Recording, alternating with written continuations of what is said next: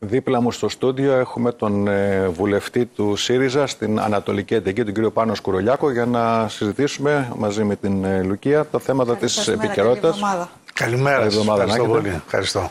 Και να κάνουμε αρχή με την γειτονική Ιταλία και κατά πόσο ανησυχεί εσάς ή πρέπει να ανησυχεί και όλη την Ευρώπη το γεγονός ότι ένα ακροδεξιό κόμμα ε, θα γίνει κυβέρνηση από Σωστά, σωστά, ναι. Βεβαίως ανησυχεί, ανησυχεί κάθε δημοκρατικό πολίτη.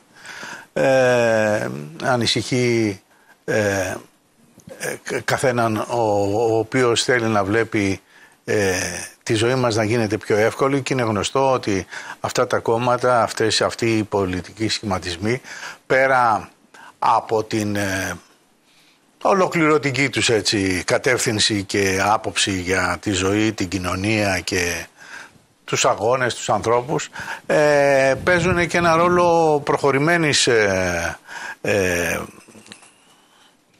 υπεράσπισης ε, των μεγάλων ε, εταιριών, των μονοπωλίων, ε, εις βάρος των εργαζομένων, εις βάρος των εργασιακών τους σχέσεων και αυτό δεν είναι καθόλου ευχάριστο. Βέβαια η Ιταλία ε, προγραμματίστηκε με διάφορες ε, σε διάφορες κατευθύνσεις, ο Ντράγκη, ένας τραπεζίτης, χωρίς να περάσει από τη βάσανο της ε, ψήφου των συμπολιτών του έγινε ε, πρωθυπουργός. Ήταν μια στρέβλωση αυτή την οποία έχουμε ζήσει και εμείς εδώ στην Ελλάδα όπως θυμάστε στην εποχή των μνημονίων. Ο Ντράγκη λέτε ότι είναι μία από τις αιτίες που ανεβαίνει η ακροδεξιά ή ο τρόπος, η Ευρώπη, ο τρόπος, το αντιευρωπαϊκό κλίμα που υπάρχει. Ο τρόπος που χειρίστηκαν, που χειρίστηκαν την άνοδο του Ντράγκη στην Πρωθυπουργία νομίζω ότι ήταν ένας ακόμα λόγος να οδηγήσει σε αυτό το αποτέλεσμα. Όταν δεν χρειάζονται εκλογές για να βγάλουμε τον Πρωθυπουργό, τότε καταλήγουμε σε τέτοιες λύσεις, σε, σε, σε, σε τέτοιες ε, κακές ε, καταστάσεις όπως είναι η άνοδος της ακροδεξιάς. Απλά από την μόνος άλλη, στην Ιταλία, είναι και στη Σουηδία, από είναι την και στην άλλη, Ουγγαρία. Είναι ναι, ένα θα σας που έλεγα, πρέπει να αρχίσει να μας προβληματίζει. Βεβαίως Πολωνία, πρέπει να και μας προβληματίζει, πρώτη-πρώτη. ε, να μας προβληματίζει και η σχέση μας και με την Πολωνία και με τον ε, ε, Ούγγρο Πρωθυπουργό Πρόεδρο. Ε, να πω από την άλλη βέβαια ότι μια χαρά είναι τα πράγματα στην Πορτογαλία, μια χαρά είναι στην Ισπανία. Ε, Εδώ στη χώρα μας θεωρώ ότι ο ΣΥΡΙΖΑ είναι σε άνοδο και βρίσκει ανταπόκριση στους ε, πολίτες τους οποίους απευθύνεται. Άρα λοιπόν το θέμα δεν είναι βγήκαν αυτοί εδώ και οι άλλοι από εκεί, είναι πώς πορεύεται μια, ένα κράτος, ένας λαός στην διακυβέρνησή του, στην, ε, στη- στην πορεία του και, πο- και πώς κα- καμιά φορά αφήνει τις στρεβλώσεις όπως για παράδειγμα ανέφερα ας πούμε, να έχουμε ένα πρωθυπουργό χωρίς να έχουμε εκλογές. Ε, αυτό πού παραπέμπει; Η ιστορία ποιο με, είναι- με τη ποιο είναι το- Ρωσία, μήπως είναι όχημα και ο Πούτιν που ανεβαίνει η ακροδεξιά με όλα αυτά που συμβαίνουν με το ενεργειακό, με το... Ο, ο Πούτιν έχει μια σαφή κατεύθυνση και μια σαφή αντιστοιχία σε διάφορες πολιτικές δυνάμεις ε, στις χώρες με εθνικισμούς και τέτοια. Ναι, λοιπόν, ε, φ- σα- σα- σαφέστατα ε, παίζουν και αυτοί οι παράγοντες. Αλλά ε, δεν νομίζω ότι ε, είναι καθοριστικός παράγον τώρα ο Πούτιν εάν βγει η ακροδεξιά στην Λέω ότι Ιταλία. οι παρενέργειες που υπάρχουν από, το, από την κρίση, από τον Προφ- πόλεμο στην Ουκρανία, προφανέστατα, το προφανέστατα μεταναστευτικό υπάρχουν. είναι και αυτός ένας παράγοντας. Βεβαίως, προφανέστατα υπάρχουν τέτοιες παρενέργειες, αλλά νομίζω ότι είναι δευτερεύοντα. Το πρωτεύον είναι κάθε λαός να αποφασίσει, να ε, αποφασίζει για την τύχη του. Και τώρα σου λέει αυτός ο λαός, εφόσον δεν με αφήσει να αποφασίσω για την τύχη μου, πού, πού θα, κα- πού, πού θα προστρέξω, ήθελα να δούμε και το Άρα οικονομικό. θεωρείτε ότι είναι μια ψήφος οργής αυτή τη στιγμή, γιατί από το Σαφέστατα. 4% Σαφέστατα. πήγανε στο 26%.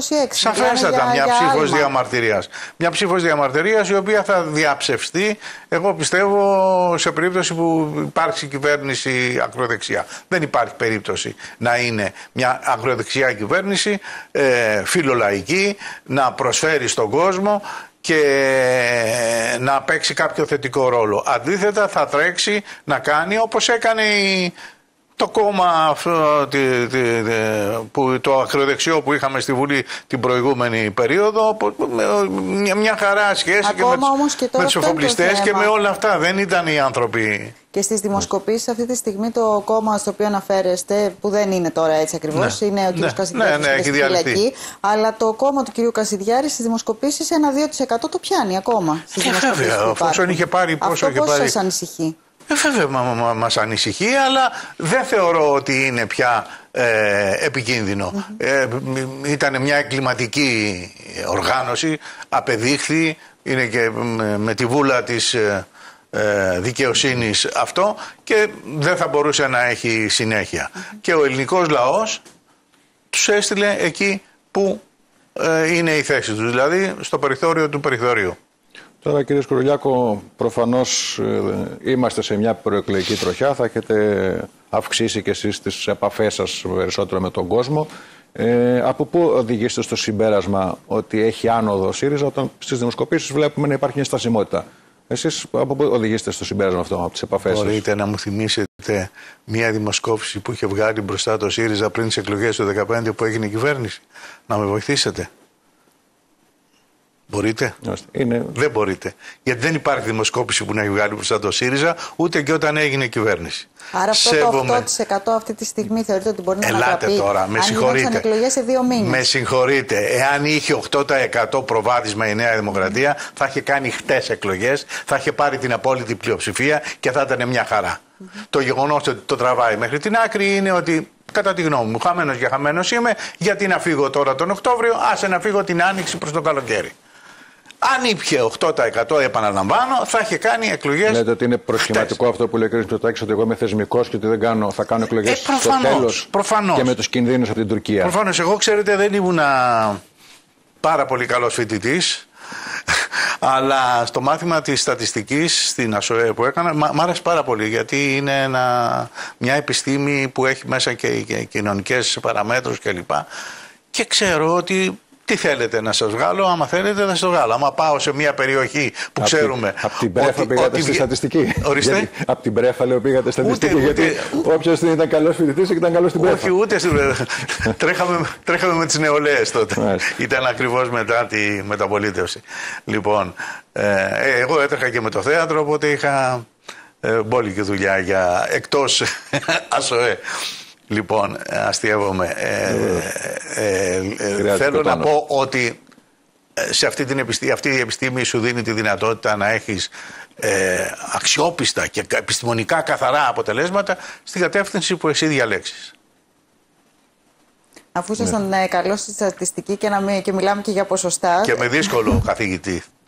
Εφόσον λοιπόν ε, η αυτοδυναμία φαίνεται ότι είναι ένα δύσκολο στοίχημα, έτσι δεν ναι, είναι; Ναι. Ε, γιατί είναι όμως κυβέρνηση τιμένων, όπως είπε ο κύριος Τσίπρας, αν κάνετε κυβέρνηση με τα υπόλοιπα κόμματα; Εφόσον είσαι δεύτερος. Βεβαίως. Κοιτάξτε, ο Αλέξιο Τσίπρας έχει δείξει ότι δεν κρύβεται, δεν εφευρίσκει δικαιολογίες για να μην πάει σε εκλογές ή να πάει σε εκλογές, όπως κάνει ο κύριος Μητσοτάκης, και δεν κρύβεται πίσω από το ότι πρέπει θεσμικά να προχωρήσει το πράγμα.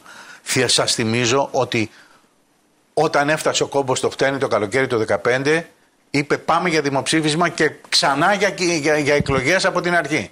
Όταν το 19 δεν ήταν καλά τα αποτελέσματα στις ευρωεκλογές, είπε stop, πάμε για εκλογές.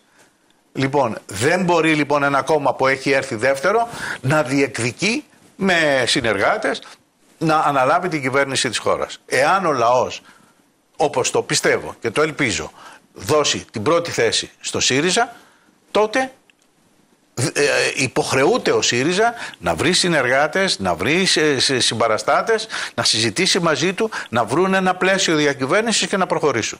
Μήπως αποποιείται ένα σενάριο ΣΥΡΙΖΑ που ούτω ή άλλω δεν βγαίνει; Γιατί είναι δεδομένη η θέση του Κουκουέ ότι δεν στηρίζει. Οπότε μετά μόνο ο δεύτερος και ο τρίτος δεν μπορεί να Δεν ξέρουμε τα αποτελέσματα των επόμενων εκλογών. Αν είναι δεύτερος, μιλάμε για το σενάριο, αν είναι δεύτερος ο ΣΥΡΙΖΑ που λέμε για την κυβέρνηση των ιτημένων. Ε, Ακριβώς. Δηλαδή, ε, αποποιείται είναι, ένα σενάριο που ξέρει ότι δεν πρόκειται να βγει. Αν είναι πρώτος όμως. Άλλο, αν είναι πρώτος, κάνει. Ε, αν είναι δεύτερος για λόγους αρχής.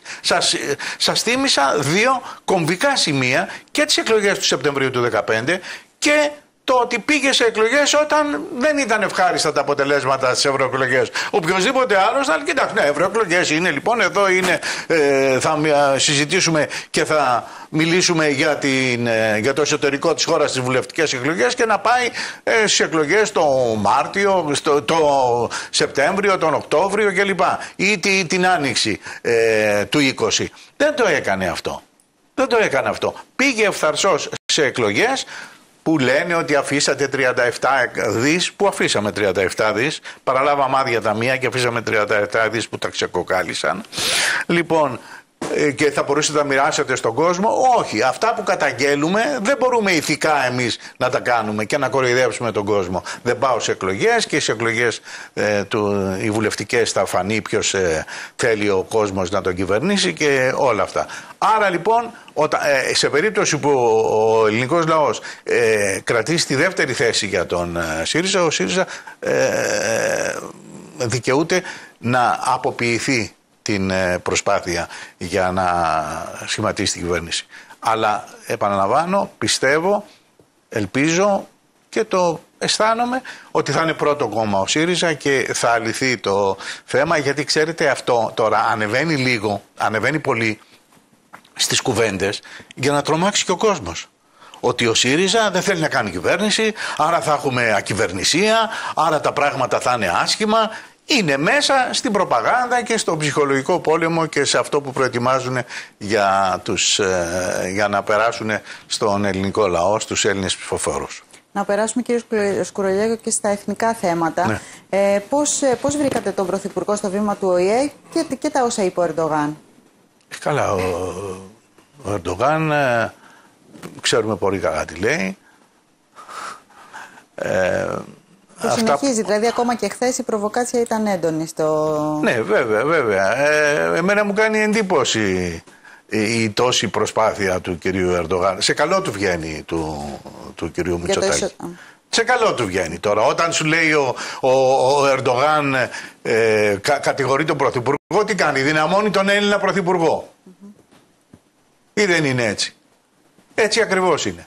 Από εκεί και πέρα ο, κρατώ το, την ε, επίθεση φιλίας στο, στο τουρκικό λαό, όμως θα, ήτανε, θα έπρεπε να ήταν εγώ κατά τη γνώμη μου έτσι πιο εχμηρός ο κύριος Μητσοτάκης στα δίκαια και στα, στις κόκκινες γραμμές ε, ε, που έχουμε σαν χώρα. Βλέπετε ένα κοινό τόπο αυτή τη στιγμή με τη Νέα Δημοκρατία όσον αφορά τα εθνικά θέματα. Όσον αφορά τα εθνικά θέματα είναι μονόδρομος ο κοινός τόπος. Εδώ δεν έχουμε ε, αντιπαραθέσεις κομματικές, mm-hmm. αλίμονο, σαφέστατα στα εθνικά. Και όταν ήμασταν κυβέρνηση και εμείς το ζητάγαμε και θα το ζητάμε εάν και εφόσον ξαναγίνουμε κυβέρνηση. Δεν, δεν, δεν παίζουμε με τα εθνικά θέματα. Κανένας δεν παίζει. Και βέβαια σίγουρα δεν παίζει ο ΣΥΡΙΖΑ. Και ενδεχομένως είναι και ένα γήπεδο εντό εισαγωγικών που βολεύει τη Νέα Δημοκρατία με, τα, το θέμα των εθνικ, με τα εθνικά θέματα. Ε, βέβαια, μα αυτό σας είπα. Όταν ε, σε, σε, σε, σε βρίζει ο εντός ή εκτός εισαγωγικών προαιώνιο εχθρός, τι κάνει, σε δυναμώνει. Μια χαρά του, του βγαίνει το κύριο Μητσοτάκη, αλλά εκεί δεν είναι το πρόβλημα εκεί. Ο Ερντογάν έχει συγκεκριμένα προβλήματα, τα οποία προσπαθεί να τα κλείψει, κρύψει κάτω από το χαλί εν ώψη των εκλογών και αυτός ε, δυναμώνοντας την ελπίζει ότι δυναμώνει έτσι η θέση του για, τις, για την εκλογική αναμέτρηση που τον περιμένει σε μερικούς μήνες.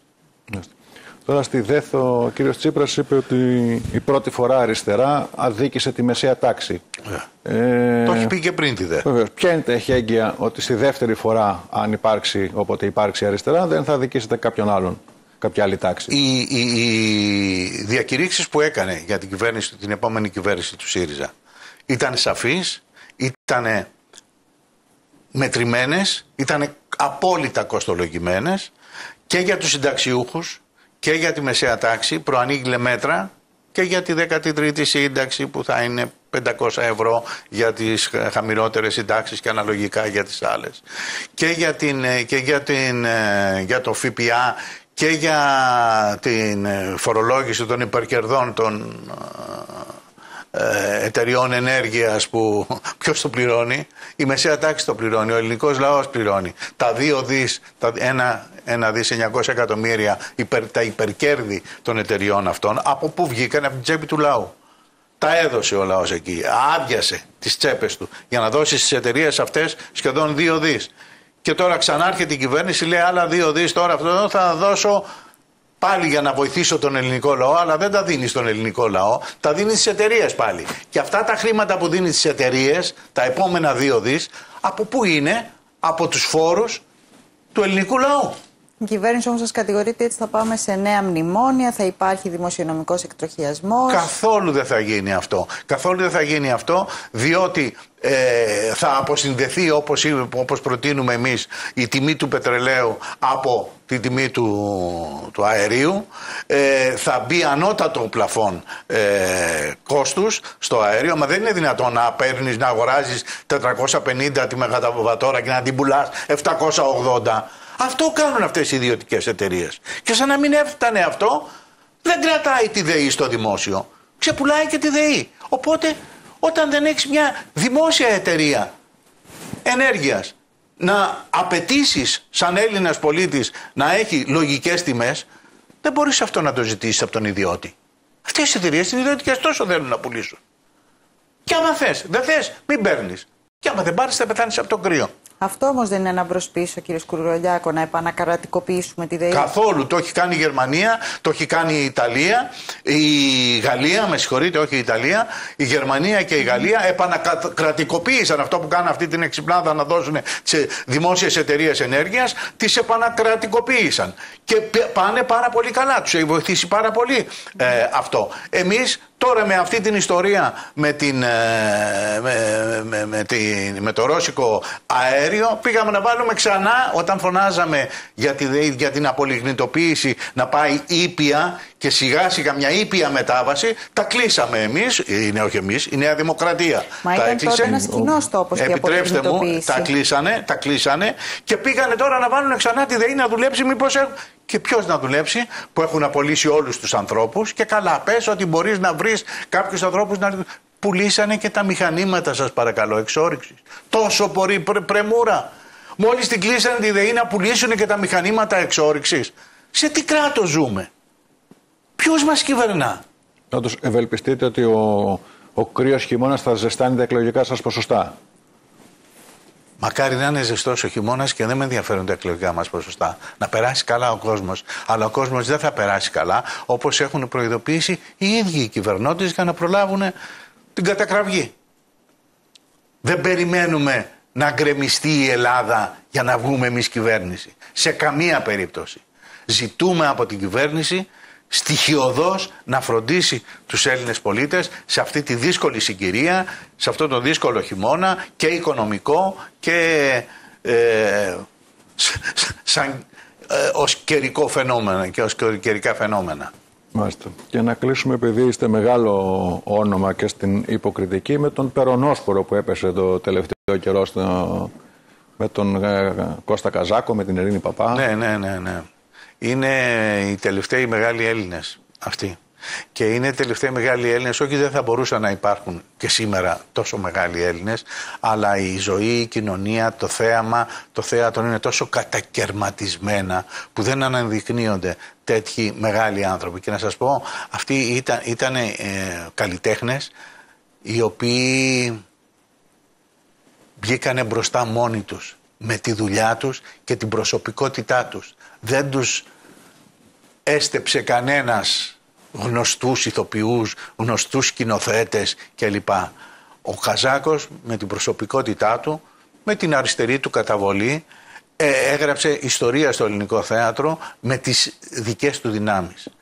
Η Παπά επίσης έκανε γνωστή τη, τη, τη, την ελληνική υποκριτική, το ελληνικό θέατρο, την, ε, την ευαισθησία την καλλιτεχνική στα πέρατα της γης και μέσω της κινηματογραφικής της ε, ε, καριέρας. Ε, η Μάρθα η Καραγιάννη, την οποία είχαμε συνεργαστεί προ 20 ετίας και παραπάνω, ήταν μια, μια υπέροχη γυναίκα, μια υπέροχη καλλιτέχνης, ένα λαϊκό παιδί από, την, από τον Πειραιά που ανέβηκε όλα τα σκαλοπάτια και δεν είναι μόνο η Μάρθα Καραγιάννη που ξέρουμε μόνο από τις ελληνικές ταινίες.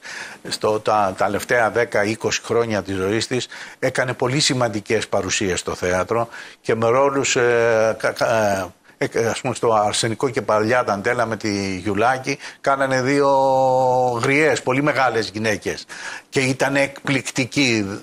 Ε, ε δυστυχώς, δυστυχώς όλο και όλο και χάνουμε αυτά Έχουν τα μεγάλα. να λένε για τον χαρακτήρα της ε, Μάρθα Καραγιάννη. Ορίστε. Έχουν να λένε λέω, για τον χαρακτήρα, τον ε, καλό χαρακτήρα τη Μάρθα Καραγιάννη. Καταπληκτικός άνθρωπος.